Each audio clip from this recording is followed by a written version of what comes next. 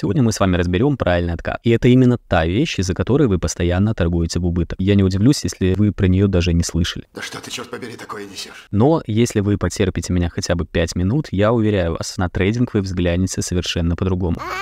Вы поймете, как правильно отмечаются коррекции и почему стандартное правило разметки свинг-лоя — это очень плохо. А самое важное, вы наконец-то не будете входить в те 91% трейдеров, которые совершенно не понимают движения крупного игрока. А перед тем, как мы посвященно будем разбирать правильный откат, я предлагаю вам остановить эту запись и на данном графике изобразить правильные откаты, как бы вы их сейчас отметили. Это очень сильно отрезвит вас, когда вы в конце видео захотите сравнить то, что у нас получится и как вы сейчас это отметили. И самое первое, с чего мы начнем, это с определения, что же такое импульс. Импульс — это движение свечей, когда каждая последующая свеча пробивает хай предыдущей свечи, но при этом не пробивает лой данной свечи. Соответственно, мы видим, что первая свеча пробила хай безымянной свечи, но не пробила лой данной свечи. И, соответственно, когда у нас появится третья свеча, мы будем смотреть по хаю первой свечи и лою первой свечи мы видим, что пробили хай, но не пробили лой, соответственно, движение восходящее у нас продолжается. Но что же случится, когда четвертая свеча пробьет лой нашей третьей свечи, но не пробьет хай нашей свечи? Именно в этот момент у нас и начнется откат. Думаю, что с этим все понятно. Когда у нас идет свеча за свечой, не пробивая предыдущий лой, это мы можем назвать однонаправленным движением. Но в тот момент, когда у нас следующая свеча пробивает лой, против тренда получается. Мы говорим о том, что началась коррекция. Это очень важно для понимания правильного отката. А сейчас разберем некоторые моменты подробнее. И первое, с чего мы начнем, с разбора вот этой вот свечи.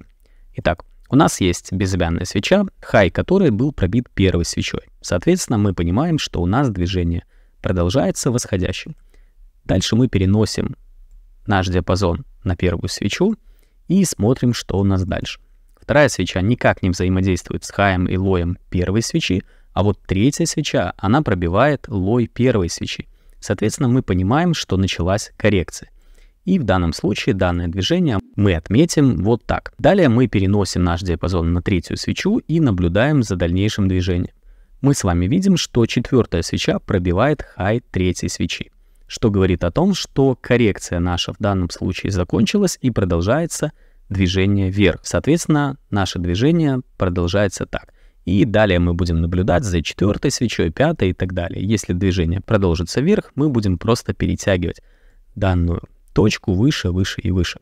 Точно так же мы с вами поступим и при нисходящем движении. Безымянная свеча у нас пробивается первой свечой, но при этом ее хай защищен. Мы понимаем, что продолжается нисходящее движение, переносим наш диапазон на первую свечу, видим, что вторая свеча никак не взаимодействует с первой, но третья свеча пробивает наш лой. Соответственно, мы с вами отмечаем следующее движение. Наблюдаем с вами дальше и видим, что четвертая свеча пробивает лой третьей свечи, и мы с вами можем говорить о том, что коррекция закончилась, и мы пошли дальше. А сейчас давайте разберем вот этот вот замечательный график. Здесь у нас идет нисходящее движение, Первая свеча пробивает лой предыдущей, но не пробивает хай. Поэтому диапазон переносим ниже и видим, что свеча номер 2 пробивает хай свечи номер 1. Соответственно, в данном случае у нас уже движение переходит в восходящую сторону. Далее мы переносим диапазон на свечу 2 и видим, что у нас третья свеча никак не взаимодействует с слоем или хаем второй свечи. Это очень важно, потому что внутренние бары мы никак не используем. Мы не наблюдаем за их лоем либо хаем. В данном случае нас интересует только свеча 2 и взаимодействие с лоем и хаем второй свечи. Здесь мы видим, что четвертая свеча взаимодействует с хаем второй свечи, поэтому мы переносим диапазон выше, движение вверх у нас продолжается. Вот это вот от первой до четвертой свечи один диапазон движения. Но мы видим, что следующая свеча после четвертой у нас пробивает лой. Соответственно, мы можем констатировать, что наше движение с восходящего сменилось на нисходящее. Поэтому мы здесь отмечаем точку и понимаем, что в данном случае наше движение является вот таким.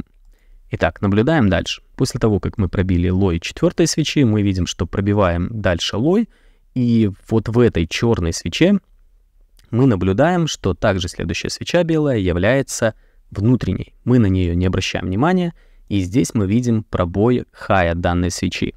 Соответственно, мы понимаем, что нисходящее движение окончено, и теперь мы наблюдаем восходящее движение. Далее мы переносим наш диапазон на белую свечу и видим, что сразу же пробиваем лой. Поэтому мы понимаем, что началось нисходящее движение. И в итоге у нас продолжается нисходящее движение. Что мы с вами получили? В данном случае мы с вами получили, что наше движение является вот таким вот зигзагообразным. Поскольку в данном случае у нас идет нисходящий тренд, мы понимаем, что вот это вот все движение является одним откатом. Соответственно, мы его объединяем, и для нас это движение будет выглядеть, после того, как оно завершилось, будет выглядеть вот так. То есть, когда мы пробиваем лой данной свечи, мы можем для себя оставить это движение вот в таком формате. Лишнее я уберу, у нас остается вот такое движение, и полностью все это движение является правильным откатом. Точно так же, как и в данной ситуации вот это все колено является правильным откатом, здесь у нас правильным откатом будет выступать полностью вот это движение. Для большей уверенности рекомендую вам постоянно выделять все движения зигзагами. При восходящем движении у нас точно такая же структура. Мы пробили хай предыдущей свечи, далее взаимодействие с первой свечи со второй, здесь образовали лой. Поэтому мы ставим верхнюю точку, Далее мы видим, что третья свеча не взаимодействует ни с хаем, ни с лоем, четвертая свеча пробивает лой второй свечи. При этом следующая за четвертой свечой, она у нас пробивает хай четвертой свечи. Далее идем по тренду. Далее у нас черная свеча пробивает хай вот этой черной свечи. Здесь у нас внутренняя свеча, и мы видим, что цена у нас взаимодействует именно слоем данной свечи и пробивает его. Поэтому мы для себя отмечаем хай, Здесь у нас будет лой, потому что следующая свеча пробила хай. И у нас получается следующего формата движение. Вот так вот правильный откат выглядит на примерах. А перед тем, как мы перейдем к графику, напоминаю вам, что у нас есть телеграм-канал, в котором каждое утро мы добавляем правильную структуру по паре евро и фунт, а также пополняем этот телеграм большим количеством обучающего контента. Переходите, ссылка в описании видео. Но сейчас давайте разбираться с правильным откатом на настоящем графике. Итак, вот у нас есть зеленая свеча. Смотрим за реакцией на ее лой и хай следующей свечи. Мы пробиваем лой данной свечи, переносим наш диапазон ниже. Видим, что третья свеча у нас находится внутри предыдущей свечи, соответственно, мы с ней ничего не делаем. Мы на нее не обращаем внимания, но вот четвертая свеча, она пробивает лой, поэтому наш диапазон мы переносим ниже. Смотрим дальше. Далее зеленая свеча пробивает лой, поэтому переносим ниже. Первая черная свеча после зеленой никак ни с чем не взаимодействует, поэтому смотрим дальше. Далее вот эта вторая черная свеча, она пробивает лой. Переносим диапазон ниже. Смотрим, что следующая черная свеча также пробивает лой, переносим диапазон. И в данном случае мы видим, что вот эта вот зеленая свеча, третья по порядку, она пробивает хай данной свечи. О чем это говорит? О том, что у нас началась коррекция. Поэтому мы отмечаем лой и смотрим дальше за реакцией. Дальше у нас идет движение вверх, движение вверх и до вот этой зеленой свечи. Но на этой зеленой свече мы видим, что черная свеча пробила ее лой. Соответственно, мы говорим о том, что началась коррекция. Наблюдаем за реакцией на эту черную свечу. Вот эта свеча, она является внутренней, поэтому мы на нее не обращаем внимания. Видим, что зеленая свеча пробивает хай. Это говорит, что у нас также началась коррекция. Смотрим дальше. Итак, дальше у нас мы идем по тренду. Дальше мы идем по тренду. Вот эта зеленая свеча не принимается во внимание, она внутренняя. Дальше мы идем по тренду. Итак, видим что? Видим, что у нас после вот этой вот замечательной зеленой свечи идет три свечи, которые находятся, которые являются внутренними мы на них не обращаем внимания. Но видим, что четвертая черная свеча пробивает лой, соответственно, мы понимаем, что начинается коррекция.